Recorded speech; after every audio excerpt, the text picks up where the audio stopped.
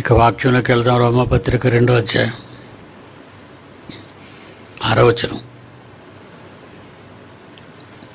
రోమిలకు రాసిన పత్రిక రెండో అధ్యాయం ఆరవచనం ఆయన ప్రతివానికి వాని వాని క్రియలు చొప్పున ప్రతిఫలము ఇచ్చును.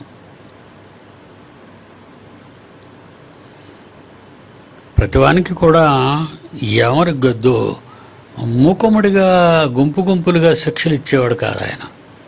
అంటే ఎన్ని కోటాను కోట్ల మంది మనుషులు ప్రపంచంలో. కోటాను కోట్లు. ఇప్పుడు మన దగ్గర ఈరోజు మన తరంలో ఉన్నవారు ఏడు వందల తొంభై కోట్లు. ఇప్పుడు మనతో పాటు ప్రపంచ దేశాలలో ఉన్నవారి సంఖ్య ఏడు వందల సుమారు ఏడు వందల తొంభై కోట్లు. ప్రపంచం పుట్టినప్పటి నుంచి అంతమైనంత వరకు కోటాను కోట్లు వీళ్ళందరికీ అట ఒక్కొక్కరికి తీర్పు తీర్చబడుతుందట. ఒక్కొక్కరికి. ఇంతమందిలో నేను లెక్క అనుకుంటారేమో. ఒకవేళ మనుష్యులలో ఎవరైనా ఏదో గుంపులో గోవిందం అంటారు చూసారా? నేను అలా అయిపోతాను నన్ను పట్టించుకోరేమో దేవుడు. జనాల్లో కోట్ల మందిలో ఉన్నాను కదా నా పేరు ఆయనకి ఏం తెలుస్తుంది?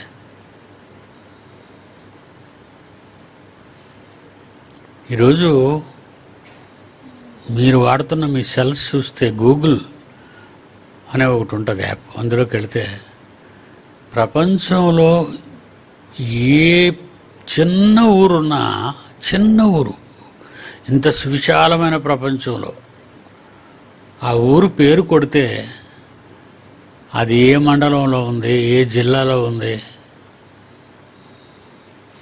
ఏ రాష్ట్రంలో ఉంది ఏ దేశంలో ఉంది వచ్చేస్తుంది బయటికి.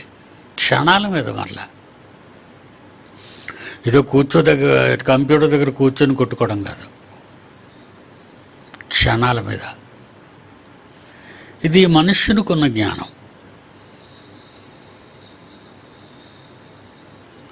ఈ మధ్యన బ్యాంకు వాళ్ళు మీ ఆధార్ కార్డు ఇవ్వండి. ఇంకొక డేట్నైనా మీ పాన్ కార్డు ఇవ్వండి. బ్యాంక్ వాళ్ళు. ఎక్కడైనా చూడండి అడుగుతున్నారు మిమ్మల్ని. బ్యాంక్ వాళ్ళే కాదు మిగతా వాళ్ళు కూడా అడుగుతారు. ఒకవేళ నువ్వు రెండు చోట్ల నుంచి సంపాదిస్తున్నావు అనుకో ఇక్కడ పాన్ కార్డు ఆధార్ కార్డు ఇస్తావు అక్కడ పాన్ కార్డు ఆధార్ కార్డు ఇస్తావు. రెండు వచ్చేస్తాయి స్క్రీన్ మీదకి. కొడితే చాలు. నీ పేరు కొడితే చాలు. నీకు బ్యాంకులో ఎంతెంత దాచుకున్నావు? అవి కూడా వచ్చేస్తాయి. ఆ పాన్ కార్డు ఒకటే కదా ఒకే పాన్ కార్డు ఒకే ఆధార్ కార్డు. రెండు నంబర్ల పాన్ కార్డులు ఉండవు రెండు నెంబర్ల ఆధార్ కార్డులు ఉండవు.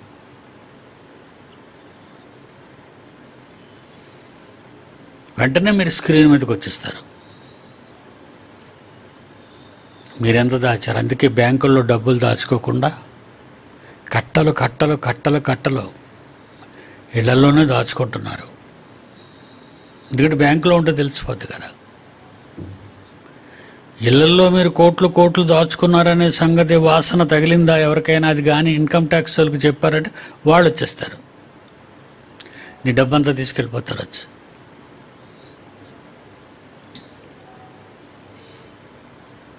ఇది ఎంత కష్టమో. కోట్ల కోటాను కోట్ల మంది మనుష్యులు నిన్ను బట్టి నీ ఒక్కడిని దేవుడు తీసుకొచ్చేయగలడు స్క్రీన్ మీదకి. మనిషికి ఎంత జ్ఞానం ఉంటే దేవునికి ఎంత జ్ఞానం ఉండాలి. ప్రకృతిలో దేవుడు కలిగించిన పదార్థం. ప్రకృతిలో దేవుడు కలిగించిన పదార్థం. ఇను ప్లాస్టిక్ సింత్ ఏటిదైనా పిన్ సిమ్ కార్డ్ చేస్తారు synthetic. Synthetic silicon. Silicon silicon. Garividi దగ్గర సిలికాన్ ఫ్యాక్టరీ ఉంది. విజయనగరం దాటిన తర్వాత గరివిడి దగ్గర. సిలికాన్. సెల్స్ రాకముందు కంప్యూటర్స్ రాకముందు మెరుస్తుంటుంది రాయి నల్లగా ఉండే. నలుపులో మెరుపు. అది డబ్బాల్లో వెళ్తుంటే ఎక్స్పోర్ట్ చేసేటప్పుడు ఎందుకు రాయి వెళ్తుంది? బొగ్గులా ఉంది అనుకునేవాళ్ళం. కానీ అందులో ఈరోజు మీ చిప్స్ మీ సెల్స్లో చిప్పులు పెడతారే అది సిలికాన్తో చేసిందే. ఎంత పవర్ అది దాచుకుంటుంది. అంటే దేవుడు కలిగించిన ప్రకృతిలోని పదార్థాలన్నింటినీ మనిషి వాడుకుంటూ మనల్ని చుట్టుముట్టేశాడు. దేవుడు మాట ద్వారా కలిగిన ఈ ప్రకృతిలోని పదార్థంతో మనిషి ఇంత జ్ఞానం సంపాదించుకుంటే దేవుని మాట వలన కలిగిన ఈ ప్రకృతికి అంత నాలెడ్జ్ ఉంటే మరి దేవునికి ఎంత నాలెడ్జ్ ఉండాలి? దేవునికి ఎంత పవర్ ఉండాలి మీరు ఆలోచించండి. ఇక ప్రతి ఒక్కరిని ఇక్కడ ఏమంటున్నాడంటే ఆరోచనలో ఆయన ప్రతివానికి వాని వాని క్రియల చొప్పున ప్రతి ఒక్కరికినట ఎవరిని విడిచిపెట్టడు?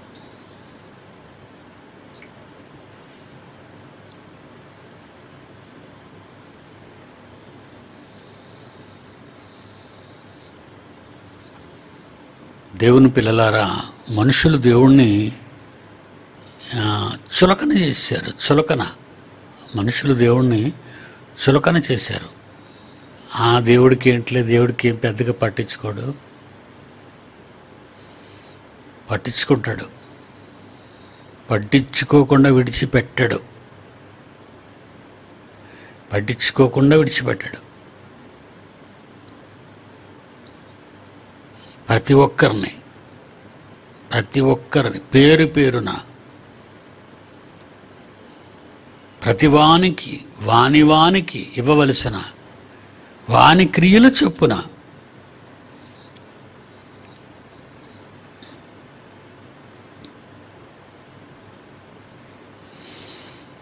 యోగ గ్రంథం ముప్పై నాలుగో అధ్యాయం పదకొండవ వచ్చినాం యోగ గ్రంథం ముప్పై నాలుగో అధ్యాయం పదకొండవ వచ్చిన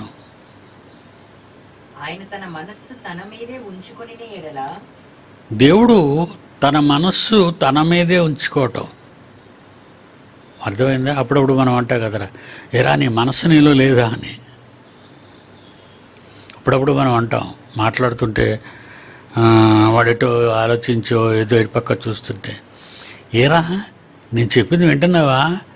ఏ నీ మనసుని మనసులో లేదా అంటారు.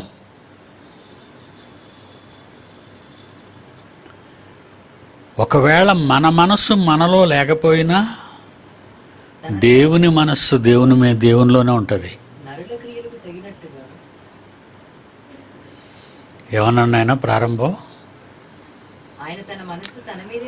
ఆయన తన మనస్సు తన మీదే ఉంచుకున్నాడు.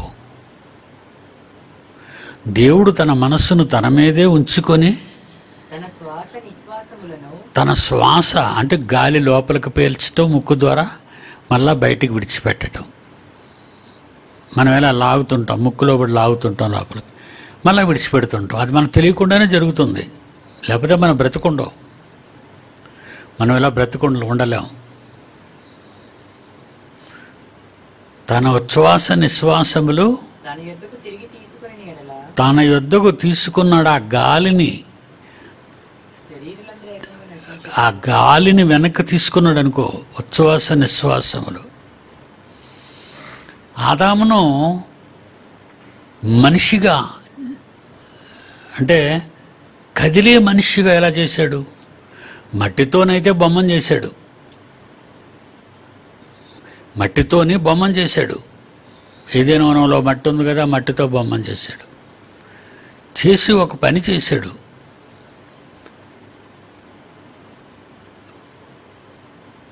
తనలోని ఉచ్ఛ్వాసనను అంటే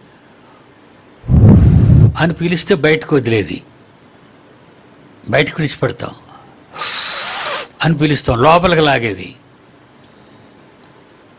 బయటికి విడిచిపెట్టేది లోపలికి లాగేది. దేవుడు కూడా బయటకు విడిచిపెట్టేది లోపలికి లాగేది ఆయన ఉచ్ఛ్వాస నిశ్వాసములు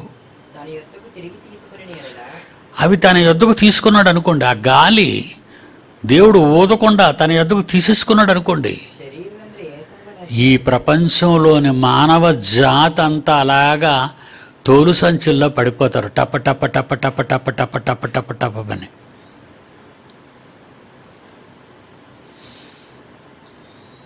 ఆదాము నిర్మాణం దగ్గరికి వెళ్దాం. మొదటి మనిషి కదా. మొదటి తోలు సంచి ఆయనే కదా. మట్టితో బొమ్మను చేశాడు. చేసిన తర్వాత ఏం చేశాడు? ఆదాము లేచిపో అనలేదు. లేచిపోదాము అని అనలేదు. మట్టితో బొమ్మను చేసి రెండో అధ్యాయం ఆదికాండం ఏడో వచనం. ఏడో వచ్చినం ఆదికాండం రెండో అధ్యాయం ఏడో వచ్చినం దేవుడైన యెహోవా. దేవుడైన యెహోవా. నేలమంటితో నరుని నిర్మించి నేలమంటితో నరుడు నిర్మించి వాని నాసికారంధ్రములో వాని ముక్కు రంధ్రాల గుండా నాసిక రంధ్రాలు అంటే ముక్కు రంధ్రాలు మనకు రెండు రంధ్రాలు ఉన్నాయి.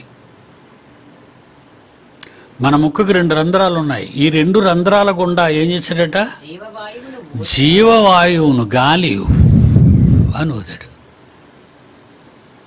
దేవునిలో ఉన్న జీవవాయువు మనం ఊస్తే ఎవరు లెగరు.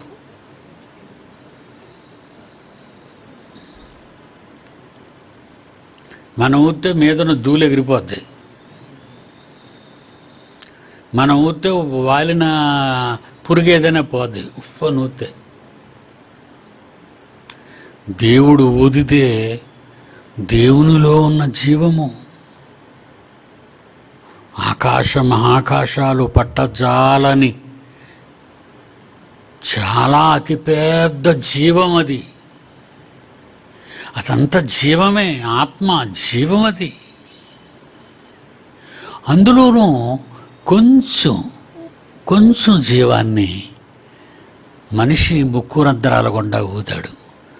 నరుని రాశికారంధ్రముల గుండా ఊదగా నరుడు జీవాత్మాయను.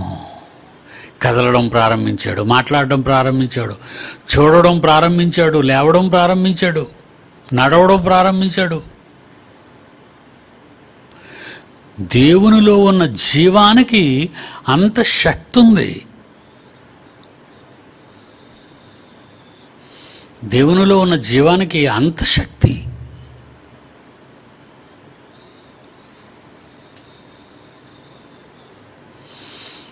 మరి ఆ శక్తిని తిరిగి తీసేసుకుంటే తిరిగి లాగేసుకుంటే మనం బుట్టలో గాలి ఊతాం బుట్ట పెద్దదైపోద్ది. మళ్ళీ గాలి తీసేవచ్చే మనం తీసేయచ్చు.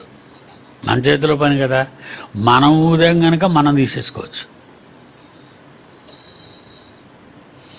ఈ బుట్టలో గాలి బెలూన్లో గాలి మనం ఊదాం మనం తీసేయచ్చు. మనుష్యులలో జీవాన్ని ఊదిన దేవుడు జీవించు మనుష్యుల అందరిలో నుండి గాలిని తిరిగి వెనక్కి రప్పించుకుంటే తాను ఊదిన గాలిని. ఆదాములో ఊదిందే మీ అందరికి వచ్చింది మనందరికి వచ్చింది అది. ఆదాములో ఊదిందే మనందరం పంచుకున్నాం దాన్ని. ఇంకా పుట్టబోయే వాళ్ళు కూడా తల్లి ద్వారా తండ్రి ద్వారా పంచుకుంటారు వాళ్ళు. అదే అలా సప్లై అవుతుంది.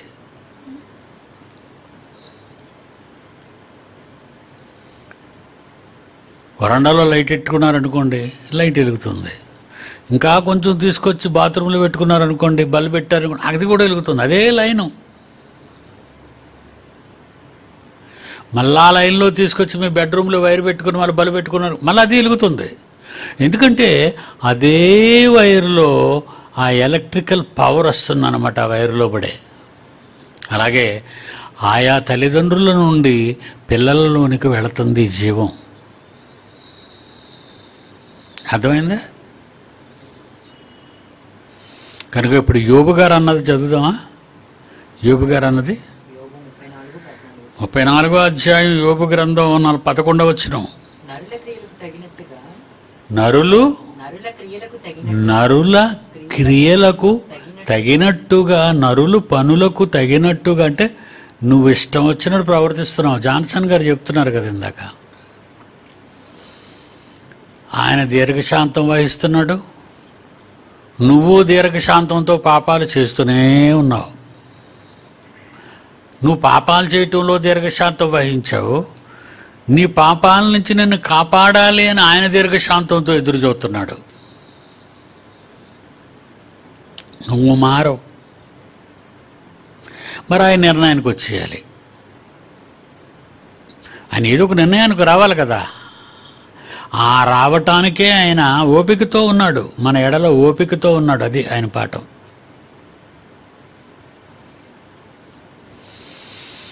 ఏమంటున్నాడు? నరుల క్రియలకు తగినట్టుగా నరుల క్రియలకు తగినట్టుగా బలము ఆయన వారికి ఇచ్చును బలము ఆయన వారికి ఇచ్చును. బలం ఇచ్చాడంటే నీ ఫలం ఫలము. ఫలం ఎందుకు ఇచ్చాడంటే నువ్వు మంచి ఫలములు తీసుకురావాలి ఆయనకి ఇవ్వాలి. చెట్టు ఫలము నీకు గర్భఫలము నాకు అని దేవుడు పాటలో పెట్టాడు జాన్సన్. చెట్టు ఫలాలు నీకు ఇచ్చాను ఆ ఫలాలు. మరి నువ్వు నాకు?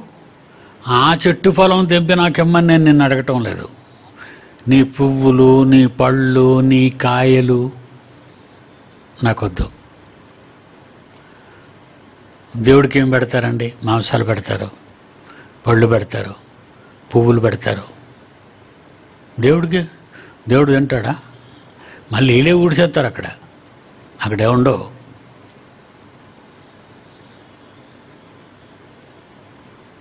దేవుడికి అయ్యొద్దు. నీ ఫలం.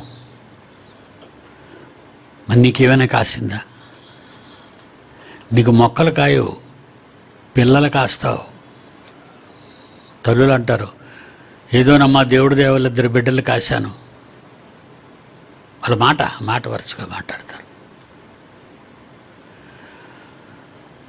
ఏదో మీ పెద్దల దయ ఇద్దరు బిడ్డల్ని కాశానమ్మా. మీకు పుట్టేవి మీ పళ్ళు మీ పిల్లలే. మీకు పుట్టేవి మీ పళ్ళు మీ పిల్లలే. ఆయనకు కావలసింది ఈ పిల్లలనే పళ్ళు కావాలి. ఇస్తున్నావా? రేపు చెప్తానులేండి అది. ఇస్తున్నావా మరి? పిల్లల్ని అసలు దేవుడికి ఇవ్వరు కదండి. అస్సలు పట్టించుకోరు.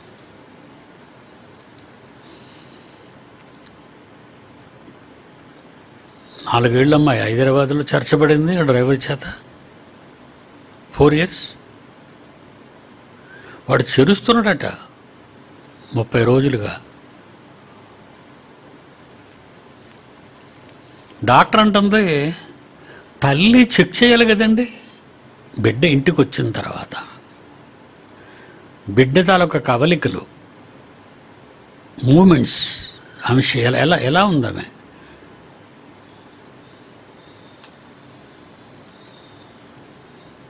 కనిపెడుతున్నావా నీ బిడ్డని? ఆడపిల్ల. వాడు దున్నపోతులాగా ఉన్నాడు. పాడు చేస్తున్నాడు అమ్మాయిని. బడిలో. పెద్ద గొడవ కదండి వాడిని జైల్లో పెట్టారు. గొడవలు జరుగుతున్న హైదరాబాద్ అంతా.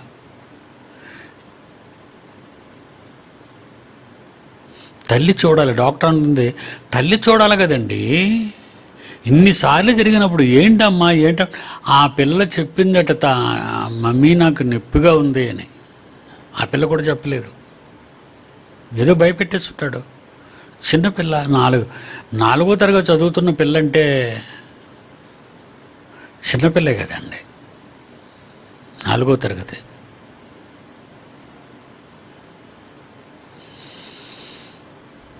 పిల్ల చెబితే ముప్పై సార్లు తర్వాత అప్పుడు పసిగట్టిందట ఆవిడ తల్లి. నేను ఇది ఎందుకు చెప్పానంటే తల్లులారా తండ్రులారా మీ పిల్లలను మీరు కనిపెడుతున్నారా? ఆ, అప్పటికెళ్ళి వచ్చామా వెరీ గుడ్ స్నానం చేసి అన్నం చేసి ఆడుకో పో. హోంవర్క్ చేసుకో.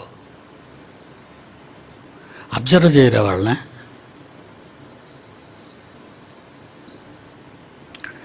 ఒక విషయం చెప్తానండి సిగ్గుపడకుండా.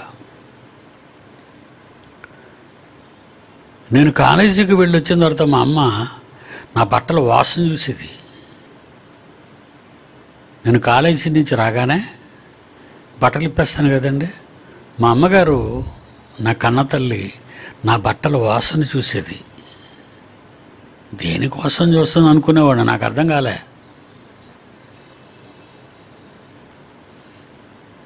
అమ్మా ఎందుకమ్మా నువ్వు వాసన చూస్తున్నావు? నా బట్టలని అడిగితే అంటదామే నువ్వు సినిమాకి వెళ్ళేవేమో అనిరా అని.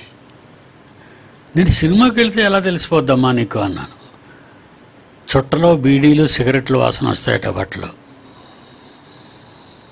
సినిమాకి వెళ్తే ఎందుకంటే అప్పుడు ఏసీలు గీసీలు ఈ పెద్ద లేవు కదండి. మ్యాట్నీకి వెళ్ళారంటే లోపల తలుపులు వేసేయడమే మామిడికాయలు ఎలాగైతే పండించడానికి నువ్వు ఇందులో పెట్టేస్తారో మొక్క పెట్టడానికి అలా తలుపులు కిటికీలు అన్నీ వేస్తే కానీ చీకటి పడదు చీకటి పడితే కానీ బొమ్మ కనపడదు. ఇంకా లోపల అప్పుడు సిగరెట్లు లాగుతుంటారు నో స్మోకింగ్లు అయ్యే లేవు కదా నా చిన్నప్పుడు నో స్మోకింగ్లు అయ్యి లేవు థియేటర్లో కాల్చుకోవటమే. పొగ అంతా పొగే. అది బట్టలకు పడుతుంది. అది మా అమ్మ టెక్నిక్. మంచిదంటారు అలా కనిపెట్టడం? మంచిది. మంచిదండి. తల్లిదండ్రులు పిల్లల్ని కనిపెట్టాలి. పర్వాలేదు బడికి వెళ్ళిపోతున్నారు వచ్చేస్తున్నారు. అనుకుంటున్నారా?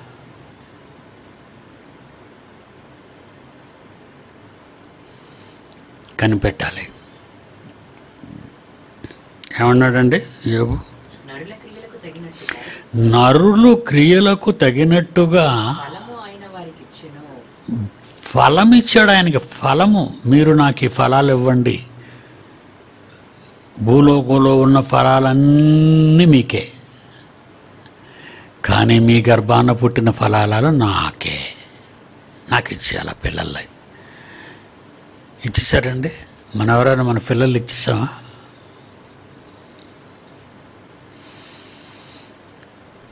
వాళ్ళకి మంచి భోజనం పెట్టండి ఇంటి దగ్గర టిఫిన్ పెట్టండి. కురుకురీలు గురుగురీలు బురుబురీలు పెట్టకండి. అవి పాయిజన్ ఫుడ్ అది. వాళ్ళను తట్టుకోలేక వాళ్ళని వాడిని వాడిని కూల్ చేసేద్దామని పిల్లల్ని మీరేం చేస్తారంటే ఆ కురుకురీలు కొంటున్నారు. అవి చాలా ప్రాణానికి అపాయకరం. ఎన్నిసార్లు పేపర్లో చూశారు మీరు? చూడలేదా? ప్లాస్టిక్ కలుపుతున్నారట అందులో ప్లాస్టిక్.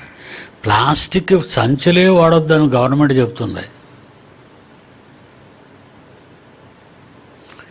నోట్లో వేసుకుంటే సాగి కరిగిపోద్ది అది కురుకురీలు కొనిచ్చేస్తున్నారు. నేను చూస్తున్నాను అంతకుముందు పిల్లల్ని ఫ్లోర్లోకి వచ్చినప్పుడు పాపం ఆడపిల్ల లాస్ట్లో తుడిచేవారు మీరు అందరూ వెళ్ళిపోయాక అన్నీ కురుకురే పొట్లాలే. ఆహా ఏవి తల్లులండి.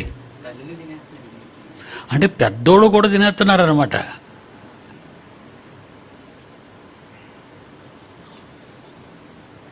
విషయం.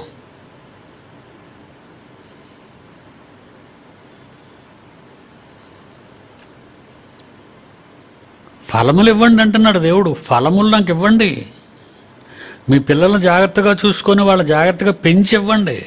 పోగిరి వాళ్ళని పనికిమాలిన వాళ్ళని నాకు ఇవ్వకండి. మీ పిల్లల్ని బాగా తీర్చిదిద్ది మాకు ఇవ్వండి దేవుడు అంటున్నాడు. బాగా నేర్పించండి వాళ్ళకి. అప్పుడు నాకు ఇవ్వండి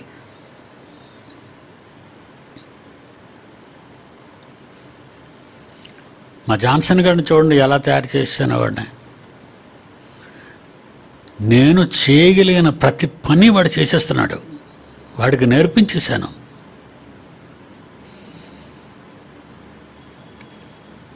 వాడు నాతో చెప్పకుండా బయటకు వెళ్ళవు ఏ చిన్న పని చేసినా అది చెబుతాడు వచ్చి ఇది చేశాను అని. అన్నం తినడానికి చెప్తాడు బాత్రూమ్కి వెళ్ళడానికి చెప్తాడు చెక్స్ రాయడానికి చెప్తాడు పేపర్లు దిద్దడానికి చెప్తాడు పాఠాలు చెప్పడానికి చెప్తాడు పిల్లలండి పిల్లల్ని అలా అలా అలా అలా పెంచాలి. ఆ విధంగా పెంచాలి.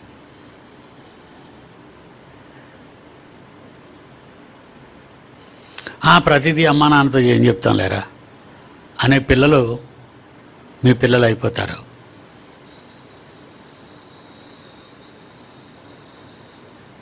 ప్రతి చిన్న పని యేసు తండ్రికి చెప్పేవాడు. జాన్సన్ చెప్పాడు అది కూడా. నా తండ్రి ఏమి చేయడం చూస్తానో నేను అదే చేస్తాను. నా అంతటి నేనేం చేయను. What a wonderful father and son. ఏంటండి వాళ్ళ మధ్య ఉన్న ఆ బంధం? నా తండ్రి ఏమి చేయుట నేను చూస్తానో దానినే నేను చేస్తాను. నా తండ్రి చెప్పంది నేను చేయను. ఆహా ఎంత గొప్ప కొడుకును కన్నాడండి తండ్రి. అలాంటి తండ్రికి పుట్టిన పిల్లలమేనా మనమంతా? అవును. మరి మనమేంటి ఇలాగైపోయాం? మనకు చెప్పలేదు మనల్ని కన్నవారు. మనలను కన్నవారు మనకు చెప్పలేదు.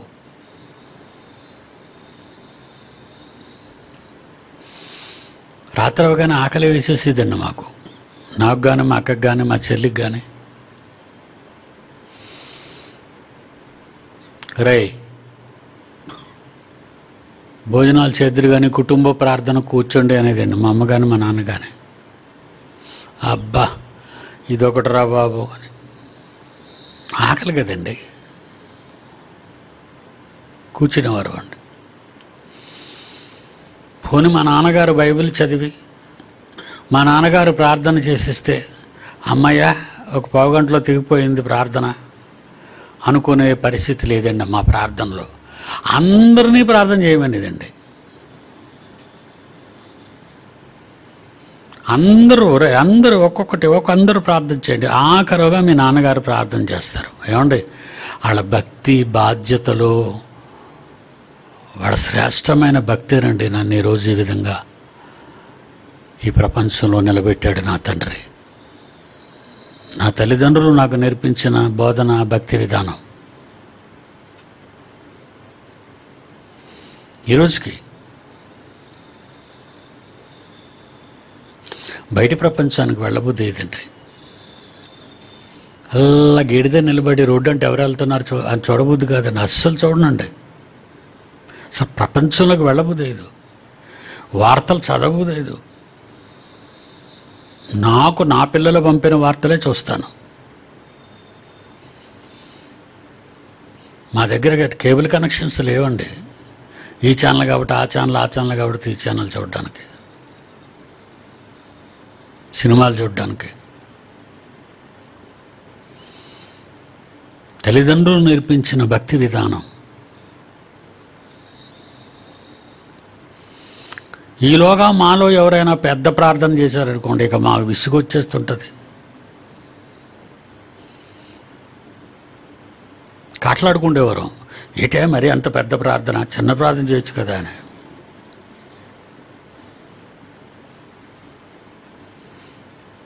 దేవుడు అడుగుతున్నాడు ఎలాంటి వాళ్ళని అడుగుతున్నాడు? యోబులో? నరులు క్రియలకు తగినట్టుగా నేను నేర్పించిన క్రియలకు తగినట్టుగా ఫలము ఆయన వారికి ఇచ్చును. మరి మీరు ఇస్తారా ఆయనకి? గర్భ ఫలము దేవుడిచ్చు బహుమానం. అది నాకు ఇవ్వండి మీకు ఇచ్చానే పండు. ఆ పండు నేనిచ్చిందే. నేనిచ్చిందే నాకు ఇవ్వండి అలా అని ఎన్నో పళ్ళు ఇచ్చాను మీకు. అవన్నీ నాకు వద్దు మీకు అవసరమయ్యి. మీరు తీసుకొని తినండి. అనుభవించడం మీరు. మీ గర్భాన్న వచ్చే పళ్ళు మాత్రం నాకు ఇవ్వండి నిజంగా అండి అన్న సమయలు తల్లి. పిల్లలు లేకపోగా కన్నీటితో ప్రార్థించి ఏడ్చి ఏడ్చి ఏడ్చి ఏడ్చి. కొడుకు పుడతాడండి. వాడు పాలు విడవగానే పాలు విడవగానే యాజకుడైన ఎలి దగ్గర తీసుకొచ్చి మందస్సు ఉన్న చోట విడిచిపెట్టి వెళ్ళిపోయిందండి. నా కొడుకును మీకు ఇచ్చేసానండి దేవుడి కోసం పెంచండి అని. వదిలి వెళ్ళిపోయింది. ప్రతి ఏటా వచ్చి వాడికి బట్టలు తెచ్చేది తల్లి తండ్రిని. ప్రతి ఏటా సంవత్సరానికి ఒకసారి వచ్చి బట్టలు తెచ్చేది.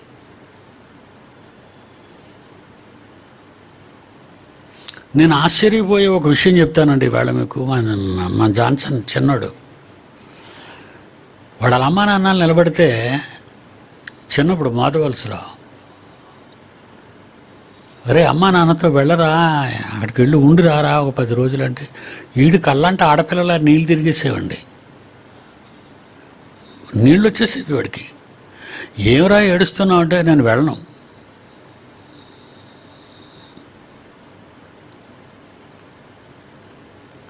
చూసారా వాడు? వాడి క్యారెక్టరు దైవాంశం అయిపోయినట్టు అయిపోయింది వాడిది. దేవుని స్వాధీనంలోకి వెళ్ళిపోయాడు వాడు. నిజంగా వాళ్ళ అమ్మా నాన్న అంటారు డాడీ గారు వాడు మీ దగ్గర ఉంటే గొప్పవాడు అవుతాడు. మాకు అదే పదివేలు. వాడు సంపాదించాలి పెట్టాలి అని మేము ఎన్నడూ అనుకోం. వాడు దేవునిలో మీకంటే మీ అంతటి వాడు కావాలి. వాళ్ళమ్మ నాన్నళ్ళండి. అలా ఇచ్చే తల్లిదండ్రులు ఉండాలి. ఇలా ఉండే పిల్లలు ఉండాలి. ఇది దేవుని వలన కలిగిన కార్యం. సమయలు కూడా ఆ విధంగానే తల్లిదండ్రుల జోలికి కానీ ఇంటికి కానీ పోలేదు. చివరికి సులం సమూహలు ఎంత గొప్పవాడైపోయాడంటే రాజులను అభిషేకించువాడు. రాజులను ఎన్నుకునేవాడంతటి వాడయ్యాడు దేవుని దృష్టిలో. రాజుల్నే ఎంపిక చేశాడు. దేవుడు చెప్తాడు సమయలు సౌలును రాజుగా అభిషేకించి ఇస్రాయేలీల మీద. అలాగే తండ్రి సమయలు దావీదును రాజుగా దావీదును రాజుగా తైలంతో అభిషేకించు ఇస్రాయేలీల మీద. రాజులను అభిషేకించి గొప్పవాడుగా మారిపోయాడు. సమయలు అతని జీవిత విధానం.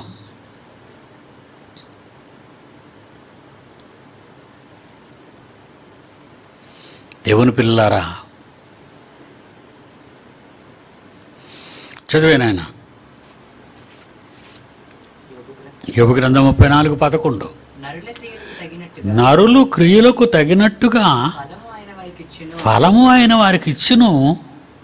అయిన వారికి అందరికీ వారి వారి మార్గములను బట్టి వారికి ఫలం వారికి ఫలం ఇస్తాడు వారి వారి మార్గాలు. నువ్వు ఎంచుకున్నది మంచి మార్గమా? నువ్వు ఎంచుకున్నది చెడ్డ మార్గమా? పిల్లలు తల్లిదండ్రులు మీరే వినాలి. మంచి మార్గం. తల్లిదండ్రులు పిల్లలను మంచి మార్గంలో నడిపించాలి.